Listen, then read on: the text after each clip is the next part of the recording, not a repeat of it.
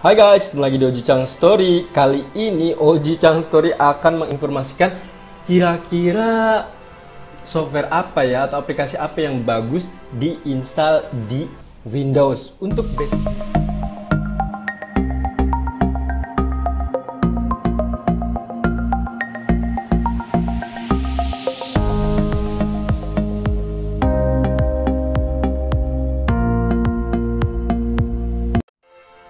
Hai guys, lagi di Oji Chang Story. Kali ini Oji Chang Story akan menginformasikan kira-kira software apa ya atau aplikasi apa yang bagus diinstal di Windows untuk basicnya saja. Kenapa? Karena seperti yang kita tahu ya, kemudian tiap orang untuk komputernya itu berbeda-beda. Kayak misalnya orang yang bergerak di bidang grafis kayak gitu, mungkin butuh hal ataupun software yang terkait dengan grafis, Photoshop dan lain-lain.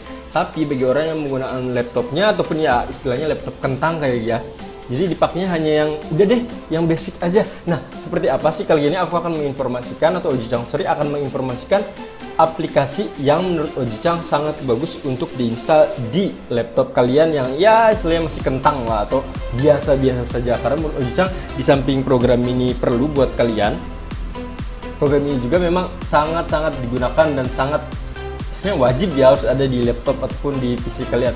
Karena ini apa ya istilahnya software basic yang harus kita punya. Apa saja? Yang pertama adalah yang pertama adalah CC Cleaner oke? Ini adalah CC Cleaner nah kegunaan dari CC Cleaner adalah pertama jadi kita bisa ngecek nih program apa saja yang jalan.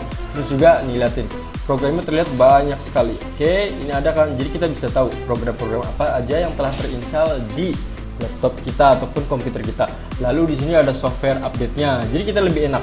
Terus yang pasti kegunaan sisi cleaner, aku pakai sisi cleaner karena yang pertama adalah untuk buang sampah. Jadi ketika sampah dicek itu kan ada tuh bukan hanya sampah secara yang di recycle bin, tapi juga ada beberapa sampah yang memang secara registry.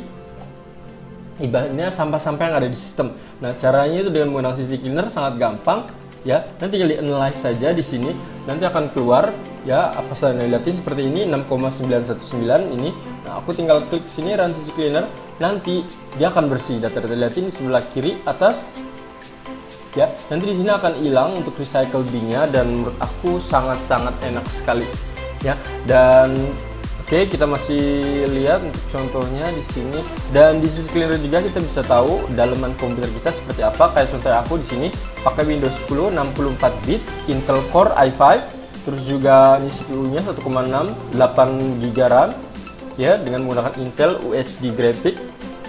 Nah, ini udah selesai liatin sebelah kiri atas udah kosong kan. Nah, cara ngecek untuk registrinya di sini. Siapa tahu kita uh, install aplikasi tertentu terus kita kadang kan di uninstall kan? Nah itu sebenarnya masih ada loh sampah yang ada di Windows kita. Nah caranya dengan seperti ini kita bisa hilang. Memang sih ada cara lainnya juga yang manual cuma agak sedikit ribet. Nah ini adalah cara yang aku pakai biar lebih gampang. Tinggal diklik sini saja fix.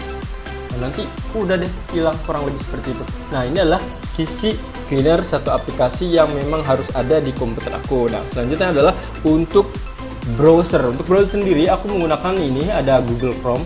Kenapa aku menggunakan Google Chrome? Karena menurut aku lebih gampang, ringan yang aku lihat sih, enak. Ya ini Chrome dan satu lagi aku menggunakan Opera.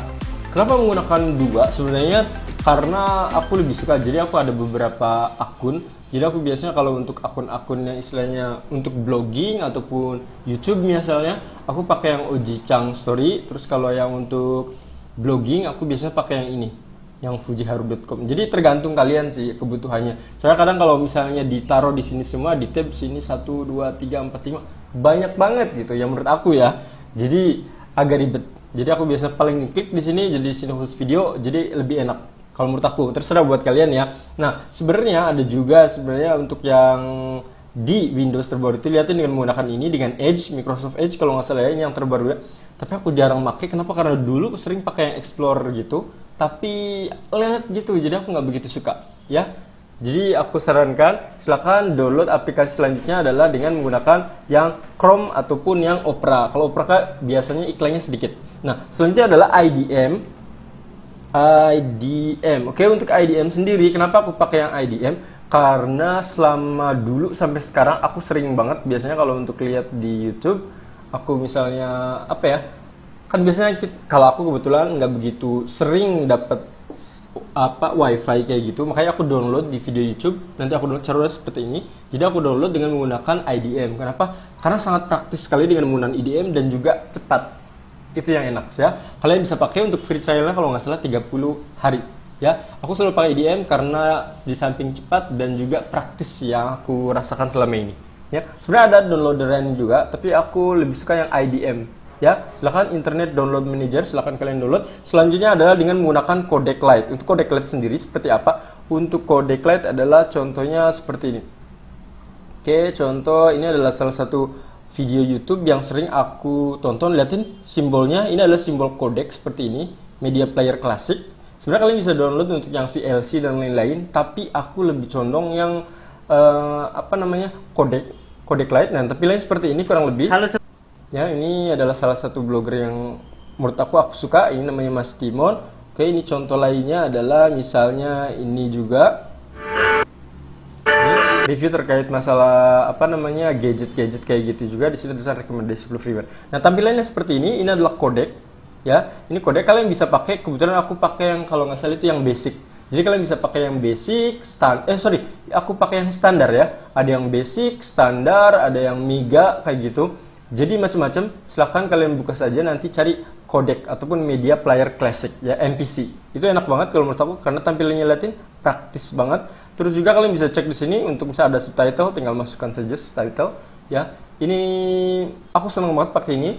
Kalau kalian pakai ini komputernya yang kentang atau biasa aja dan kalian nggak begitu banyak download file-file yang istilahnya extensionnya itu aneh-aneh, lebih baik pakai yang codec light yang versi standar saja ya saya kalau misalnya kalian butuh yang bener-bener yang ribet banget ataupun aplikasinya itu sedikit beda yang extensionnya lebih baik pakai yang kalau nggak salah itu mega karena itu udah komplit pak sangat-sangat komplit ya tapi bagi aku cukup ini aja udah bagus sekali nah selanjutnya ketika udah selesai di sini untuk aplikasi yang berupa codec aplikasi selanjutnya aku tawarkan ataupun yang harus ada di install di HP aku adalah pastinya Office Oke, ini adalah Office ya. Office menurut aku aplikasi wajib.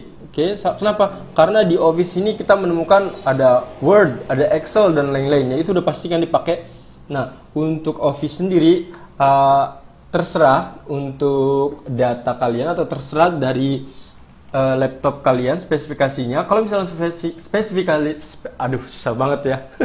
Spesifikasi dari laptop kalian itu memang nggak begitu bagus aku sarankan lebih baik pakai Office yang 2008 atau 2013 itu menurut aku cukup lah itu.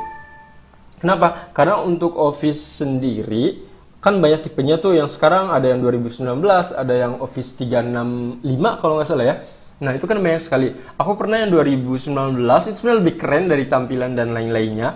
Tapi nggak tahu kenapa komputer jadi berat. Jadi aku fokuskan untuk ambil yang 2016. Sebelumnya 2013 nggak ada masalah sih sebenarnya. Cuma aku pengen tahu aja gitu yang bagusnya seperti apa. Dan sekarang aku baru install ulang, makanya aku pakai yang 2016 ya. Tergantung balik lagi untuk kalian, pakai yang 2008, 2013 2016, 2019 atau 365. Yang pasti aku saranin jangan yang 2003. Itu yang lama banget ya 2003 itu jangan lama banget ya. Karena mungkin beberapa Windows nggak support juga terus juga kadang ketika kita ngeklik ataupun bikin Office di atau Word di 2003 itu nanti ketika pas di buka di Office 2008 2013 kayak gitu takutnya ada perlu di convert dan lain-lain. Karena kadang datanya jadi berubah jelek ya jadi berantakan. Makanya aku sarankan lebih baik pakai yang sekarang. Ya standar minimal inilah aku bilang 2008 atau 2013 menurut aku itu udah cukup banget. Nah selanjutnya adalah WinRAR pastinya Kenapa WinRAR dibutuhkan? Sebenarnya pas awal-awal dari Windows sudah ada sih sebenarnya ya udah ada tampilannya untuk yang WinRAR di sini udah ada. Tapi lebih baik kalian ngedownload saja untuk ini karena biasanya kebanyakan gratis ya untuk yang WinRAR di sini. Ya, silakan kalian download karena menurut aku sangat berguna sekali karena ada beberapa data yang memang datanya itu harus di apa istilah dikompres. Kenapa? Ya bisa jadi biar aman dari komputer karena kebanyakan misalnya berakhiran atau extensionnya .exe itu lebih rentan terhadap virus. Jadi apalagi laptop kalian sering ini seks bebas ya, cabut colok kayak gitu dengan menggunakan USB itu kemungkinan besar akan terkena virus. Jadi lebih baik dikompres. Kalau dikompres itu sedikit aman, ya. Oke, selanjutnya adalah karena aku sering menggunakan ini apa namanya uh, video, bikin video, aku lagi suka bikin video, jadi aku ngedownload yang Filmora di sini. Baik kalian bisa yang Premiere, bisa yang Pinnacle kalau nggak salah ya terus juga Vega sebenarnya banyak sekali untuk aplikasi video. Nah, tapi aku sarankan kita menggunakan apa aku menggunakan yang Filmora ini. Betul aku pakai yang Filmora 9. Kenapa Filmora?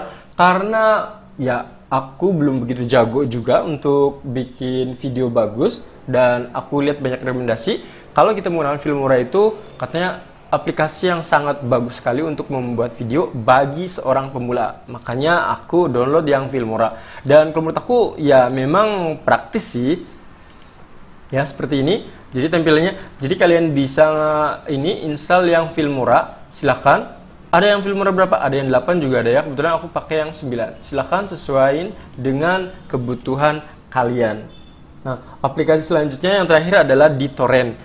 Nah, untuk torrent sendiri aku menggunakan yang uTorrent. Kenapa uTorrent? Sebenarnya ada BitTorrent dan lain-lain ya, tapi aku lebih condong menggunakan uTorrent karena apa ya? Iklannya nggak begitu banyak ketika klik ya file torrent itu langsung keluar ini. Kalau yang BitTorrent dan lain itu kita harus ngelewatin ke beberapa apa ya website torrent dulu dan menurut aku itu ribet banget dan nggak tahu tanpa sengaja terkadang kita kan install ini apa namanya beberapa aplikasi-aplikasi malware kayak gitu. Makanya aku nggak suka.